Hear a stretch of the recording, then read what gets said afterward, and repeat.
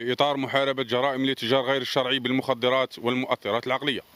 تمكن عناصر المصلحة الولائية للشرطة القضائية بأمن ولاية الجلال من توقيف شخص وبحوزته كمية معتبرة من المؤثرات العقلية. العملية جاءت بعد ورود معلومات لعناصر المصلحة. مفادها قيام أحد الأشخاص بنقل كمية من المؤثرات العقلية على متن دراجة نارية من نوع ليفان.